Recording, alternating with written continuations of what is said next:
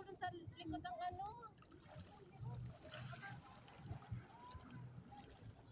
Pero bagay yun.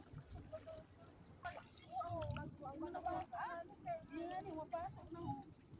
Puro si Awon kasi. Sabi mo mabra ka. Hoy, kadaya na kapantalon ha. Apat pa yan dito, te. Mabatid na lang kami doon. Doon? For the picture. Ang gas, gasolinahan mo, wala problema. Maha.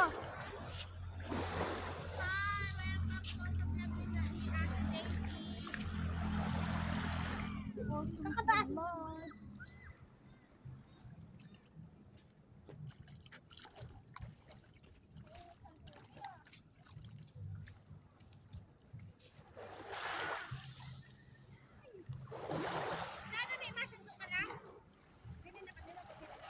Ano nga, kamo? Dili ka lang ta? Dili lang kamo muna? Oo nga, ni kayo na kami mauli. Pag Nagsabi